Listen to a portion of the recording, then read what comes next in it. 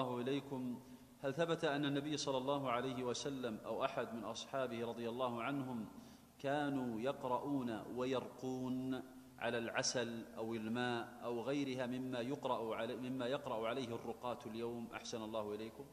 لا أعرف شيئا من ذلك أن النبي كان صلى الله عليه وسلم كان يفعله. لا في عسل ولا في ماء. وإنما كان النبي صلى الله عليه وسلم يعالج المريض بالدعاء له.